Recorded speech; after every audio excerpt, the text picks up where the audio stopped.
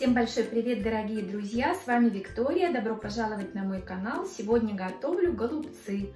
Голубцы в духовке получаются особенно вкусные, сочные и ароматные. Сначала я займусь капустой. Отделю листья у кочана. Первые листики я удалила и теперь удалю кочерышку и буду удалять следующие листики. Когда кочерышку мы убираем, то затем нам будет намного легче справиться и быстрее со следующими листиками. Можно это сделать с помощью микроволновой печи, чтобы размягчить листики. Ставим капусту на 6-8 минут в микроволновую печь. Через 6 минут можно проверить, потому что у всех мощность разная микроволновой печи. И, или заморозить. И затем, после того, как она уже будет размораживаться, она уже будет мягкая, листики будут мягкие. Я поставила кастрюлю с водой, вода закипела, в воду я опустила листья капусты. Взяла две кастрюли, потому что в одну все не вместилось. И оставлю кипеть капусту примерно на 6-8 минут. Через 6 минут проверю.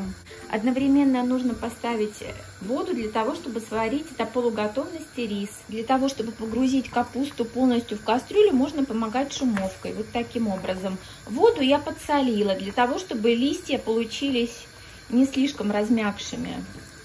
И чтобы они потом не порвались. Капуста у меня варилась 7 минут. Сейчас я ее солью в дуршлаг и переложу в дуршлаг, чтобы вся вода стекла. Рис нужно хорошо промыть и варим его до полуготовности в течение 5 минут. Листья капусты я достала с друшлака, переложила их на кухонное полотенце. Я советую перекладывать их на кухонное полотенце еще горячими, чтобы они не прели в кастрюле или в дуршлаке. Таким образом э, процесс варки остановится. Рис э, я слила. Для зажарки я почистила лук, морковь и чеснок. Лук мелко-мелко нарезаю. Лук можно либо нарезать, либо пропустить через мясорубку или блендер. Нарезаю два зубчика чеснока. Морковку натираю на терке. Также для зажарки и для того, чтобы добавить фарш, я нарежу мелкие листики капусты, которые не пойдут у нас э, в голубцы, и добавлю в зажарку. Приступаем к обжариванию овощей. В сковороду я налила растительное масло, выложила лук, выкладываю морковь. К луку и морковке добавляю мелко нашинкованную капусту и чеснок. Можно добавить сельдерей, болгарский перец. Все это по вкусу. У меня сегодня лук, морковка и капуста. Овощи я перемешала. Хорошо их солю. Добавляю черный молотый перец.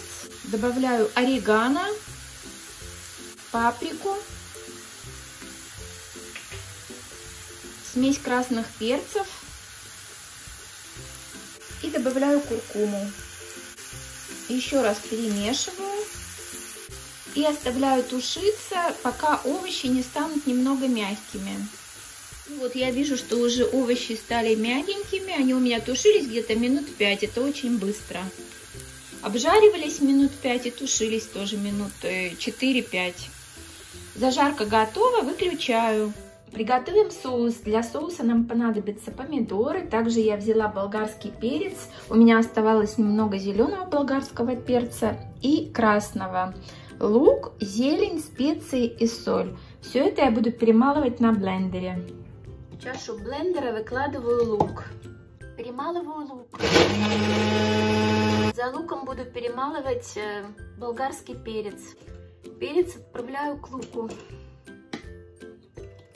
И перемалываю помидоры.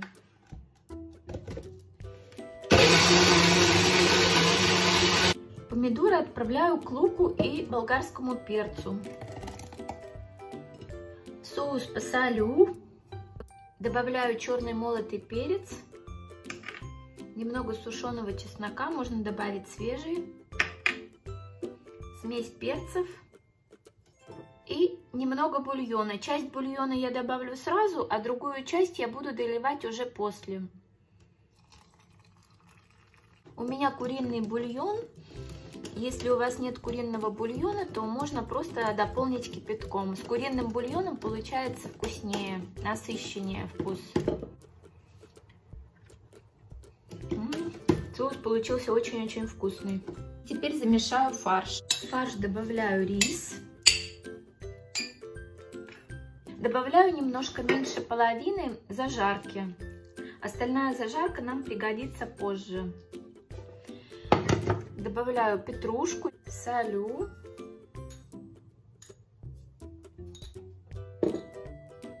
Добавляю молотый черный перец и красный перец. Замешиваю фарш. Если фарш у вас получился немного суховатым, то можно добавить немного воды. Фарш прямо лучше вот так вот перемешать все хорошо руками. Вымешать. Ну что, друзья, фарш я вымешала. Посмотрите, какой сочный он получился. За счет того, что овощи мы обжаривали, фарш получается очень сочный. Приступаем к формированию голубцов. Если у вас остались слишком толстые прожилки на листиках, то можно их немножечко вот так срезать, либо отбить молоточком. Затем выкладываю 2 столовые ложки фарша.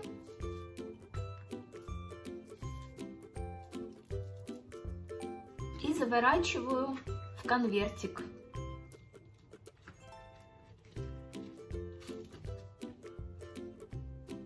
И продолжаю.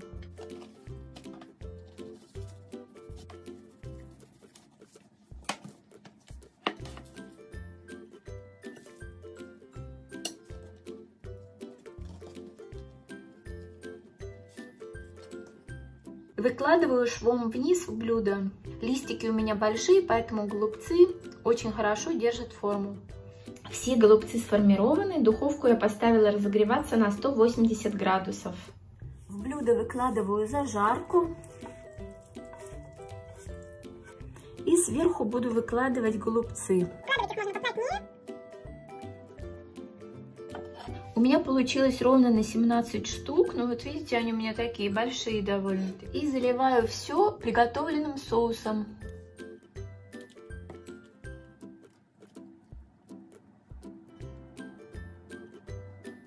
Нужно, чтобы перчики были немного покрыты жидкостью. Доливаю приготовленный куриный бульон.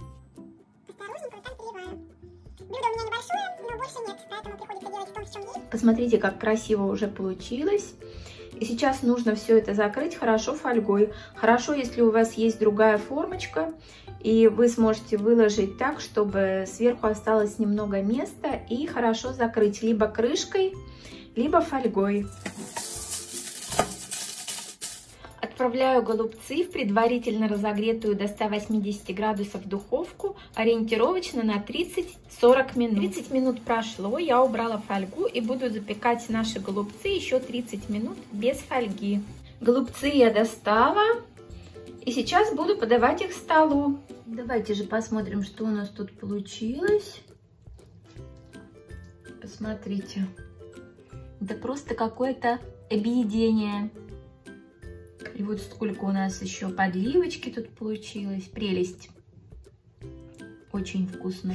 Подавать голубцы можно с подливкой, со сметаной. Посмотрите, какие сочные они получились внутри.